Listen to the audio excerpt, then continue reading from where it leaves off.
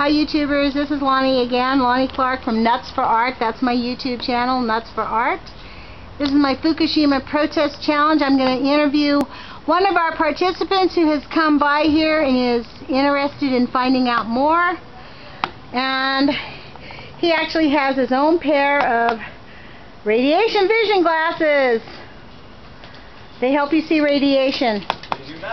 And he has chosen to take radiation glasses instead of the earplugs. So this is what we really need. There you go. Now, do you see it? Yes, I can definitely see the radiation much more clearly. I thought you could. Okay, so I'm going to ask you three questions about radiation. First off, do you want to tell me your name? My name is Eric Reynolds. I'm from Eugene, Oregon. Eric Reynolds. That's not the name you told me before. I go by Zortron with my friends. Zortron. Okay, so YouTube, we're friends. So this is Zortron. And so, Zortron, I want to ask you three questions. First off, what do you know about radioactivity or radiation? Well, I know that the people who discovered uh, radioactivity um, thought that it was harmless and could be used for different sorts of uh, medical endeavors, and that probably 20 years after the discovery they died of cancer. And um, so it's clearly extraordinarily harmful. And they also know that on really massive, or on a really massive scale, um, radioactive materials are being sort of distributed into our environment uh, through our air and also our water. And so that's a really large problem. Right. Okay, and then I want to ask you, what do you know about Fukushima?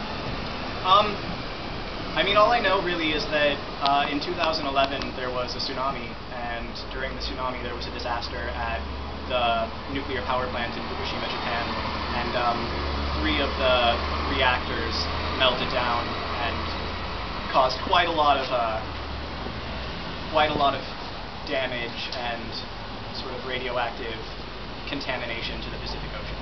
That's about all I, I know about it. And what do you think of it now? Do you know what's going on there now? Um, what I know is that, I mean, from what I've heard anyway, cleanup teams can't really access the material because no one can be in a lot of the areas around Fukushima for more than about 40 minutes at a time.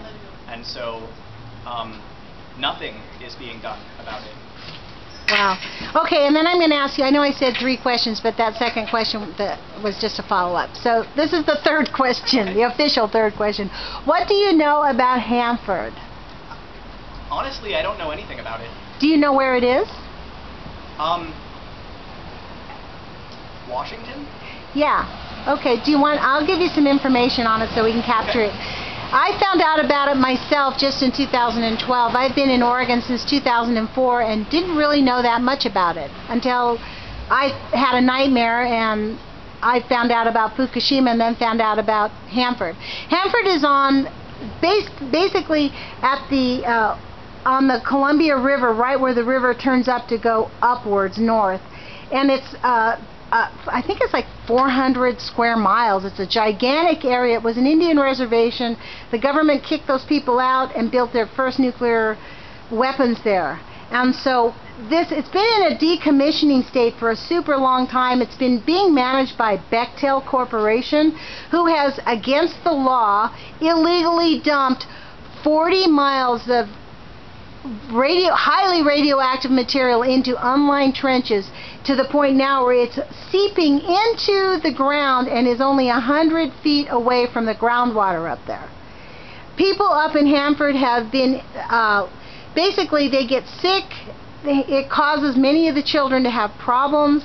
It is still in the, the, the, the tanks now, they have several hundred tanks there, they're all leaking radioactivity and it is a, a gigantic mess. I mean, it, it's in Portland, right off of the mouth of Portland is one of the biggest dead zones on the planet. Hanford, prior to Fukushima, was deemed the most contaminated site on the entire world.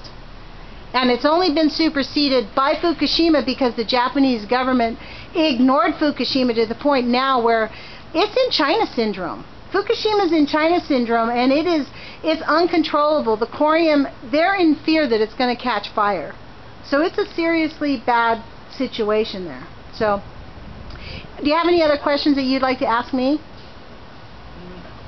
I mean, given the expertise that you seem to, to have on the subject, I wonder if you know anything about depleted uranium munitions used in the Middle East by the United States. Yeah, you know, there's in fact a really great Facebook ca- page called uh, Fallujah Babies. And it is actually, they show pictures of what happens to the children there. The women in Fallujah, where we spent the, we basically carpet bombed Fallujah with depleted, illegally, mind you, illegally bombed with depleted uranium weaponry up there. The women in Fallujah now are told do not have babies because their birth rate is like 90% of the babies are born dead or mutated. They have they have they give birth to like babies with jelly bean baby heads like in the Marshallese they called it jelly bean heads because so many of the children were born with these grotesque mutations they wanted to give it a name that wasn't so disgusting. So they're called jelly bean babies. Wow. yeah it's really you can talk to Jasmine about what's gone on in the Marshall Islands. It's uh, incomprehensible. But the women in Fallujah are basically being told do not have babies for at least a generation because they're all being mutated it cause it the cancer rates are off the charts. And so again it has to do with the money. Our right now our military is out of control and it's all about making money. And they view nuclear weapons as a simple easy way to make money because they, they don't even have to buy the product really at a high cost because it comes from the nuclear power plants so they get it practically for nothing and they get to make these depleted depleted uranium weapons are considered low grade radiation. And what they do is they fill a weapon a, a, a, a, shell basically with hundreds of uh, pellets of low grade radiation and so the idea was that when it blew up it was such low level radiation that it wouldn't cause problems. But exactly, but good good response there. good response. See, you, the radiation glasses are working. So tell me, but what? well, I mean, it just seems to me that the the friction with all of these balls rubbing against each other during the explosion would rub some, you know, trace molecules off of these. Yes. And then we have little particles of, you know, substandard radiation or something like that. But they're still in the atmosphere and they're in the soil and they're in the water and I mean they're just Yes, yes, uh, that seems like a really poor choice. yes. It is a really poor choice. So, well, look, thank you for this interview, and I really appreciate it. And here we are from the Fukushima Protest Challenge in Eugene, Oregon. And this is actually going to be posted up on my website, Nuts for Art, and probably on the Eugene Media website by Jana, who is actually filming it all for us. Thanks, Jana.